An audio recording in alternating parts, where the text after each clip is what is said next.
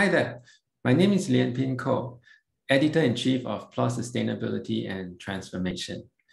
At PLOS S&T, we believe in open science practices that facilitate trust, transparency, and discoverability of research that has a long-lasting impact on the sustainability of our environment, our economy, and the societies around the world who depend on it. This is in our mission statement and the framework for how we work and expand our reach. We prioritize diversity, equity, and inclusion in everything we do, from how we put together the editorial board to our scope and vision for the journal.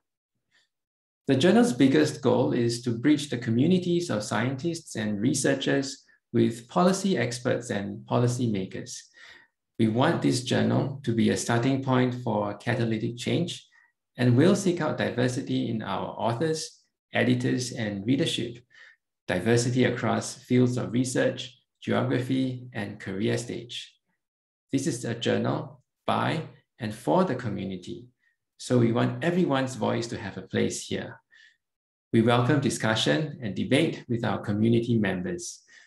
Our collective goal is sustainable solutions, and so we are looking forward to building this platform together with the community. In both our publications and in our daily work, we want to be in direct conversation with thought leaders in the field of sustainability. We intend to publish radical, impactful research. Sustainable solutions to the problems in our world are being studied and written every day. We want to be the home of that research.